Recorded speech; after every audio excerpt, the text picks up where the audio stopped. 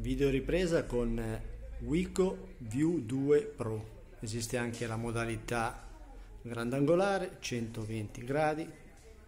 Sulle foto distorce un po', sul video non è possibile applicarla durante la registrazione a posteriori.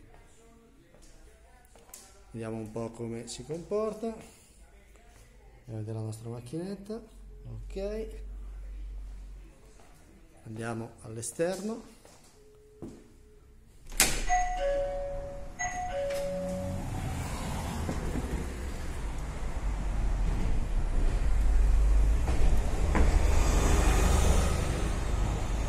Ok rientriamo che c'è già caldo.